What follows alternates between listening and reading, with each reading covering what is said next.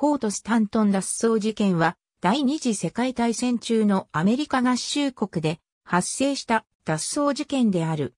1942年11月1日、ニューメキシコ州フォート・スタントンの収容所からドイツ人船員4人が脱走した。フォート・スタントンでは他にも何件かの脱走未遂事件があったが、1942年11月の事件はその中でも最も成功したものであり、また銃撃戦まで発展した唯一の事例である。ドイツ船員のうち1人が負傷し、残り3人は収容所へと送り返された。キャピタンからおよそ7マイル北東に位置するフォートスタントンは西部開拓時代に設置された古い陸軍基地で第二次世界大戦勃発後はドイツ人、日本人用の収容所が設置されていた。脱走した4人を含むドイツ人収容者の大多数は1939年12月19日にバージニア州沖400マイルの地点で自沈した遠洋定期船 SS コロンブスの乗組員だった。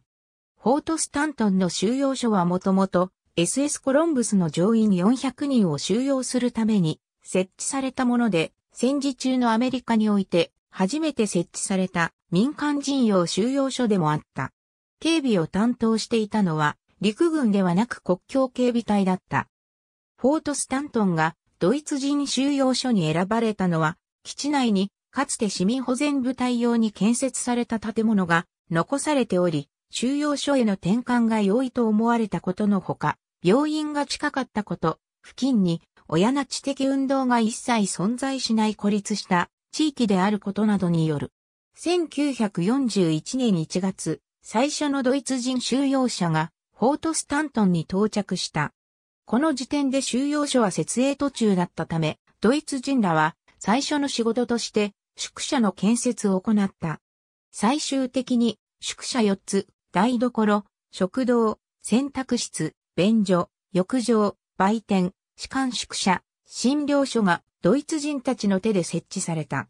その他に農場やレクレーションホール、地元住民とのミニオリンピックも開かれたスイミングプールなども設置されていた。当初、収容所の環境は刑務所よりも小さな町に近かった。アメリカとドイツが戦争状態になかったため、ドイツ人収容者らは多くの自由が認められていた。しかし、1941年12月9日に、総統アドルフ・ヒトラーが対米戦線復刻を行った後、それまで許可されていたキャピタンへの外出やハイキングなどが禁止された。ドイツ人収容者らの扱いは遭難した船員から適正外国人へと切り替わり、帰国するには終戦を待たなければならなくなった。監視塔や鉄条網なども新たに設置された。1942年11月以前にも、いくつかの脱走未遂があった。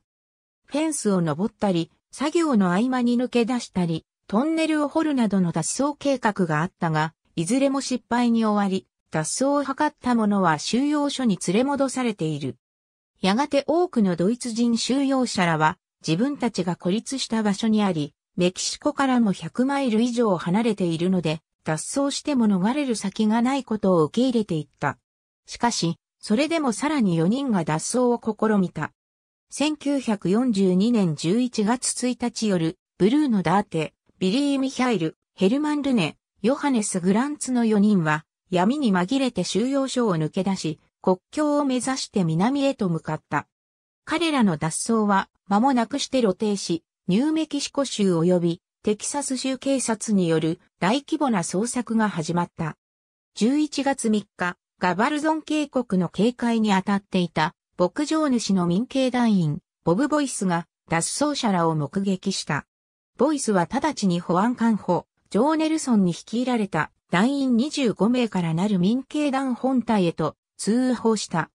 追跡の後、民警団は収容所から南へ14マイルに位置するリンカーン国立森林公園内の丘にて脱走者らを発見した。